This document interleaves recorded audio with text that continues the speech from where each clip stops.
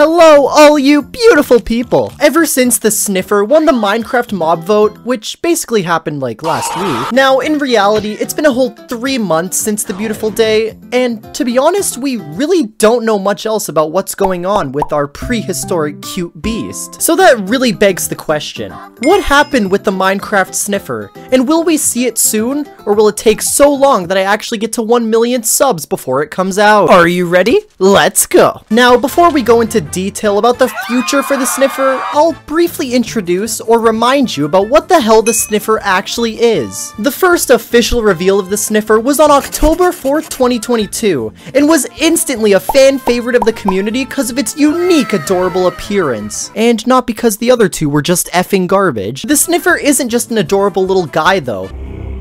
Okay, maybe not so little. They're completely extinct mobs, and it's up to you to revive them by finding sniffer eggs in ocean ruins and bringing those eggs up to the surface. Once alive and well, the sniffer can go around and do something really goddamn cool. Sniff.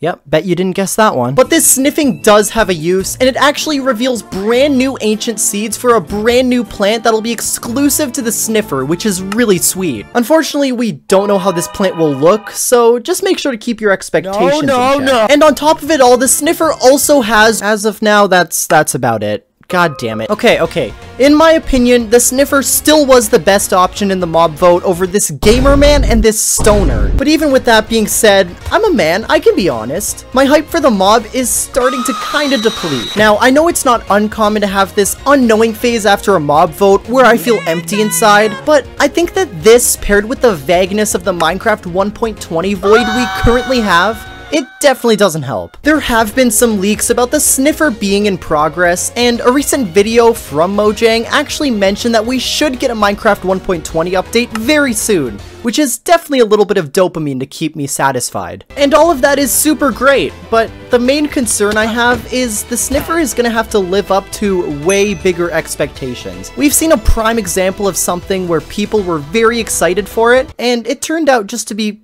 kinda mid. You were all the chosen ones, damn it! You were supposed to duplicate my netherite, but you can't! And with what I mentioned earlier about 1.20 not being talked about as much amongst Mojang, it puts even more pressure on the Sniffer to be a super awesome mob, more so than the past couple of mobs that we've gotten. Now, do keep in mind, this is under the assumption that the announcement that we get isn't earth-shattering and 1.20 adds literally nothing, which I'm gonna give Mojang a bit of credit and say that they won't do that to us, but we're really just gonna have to patiently wait, even more, for more news to come out about the update as a whole. But until that day, I'll be sitting in my desk asking myself, man, what happened to the sniffer?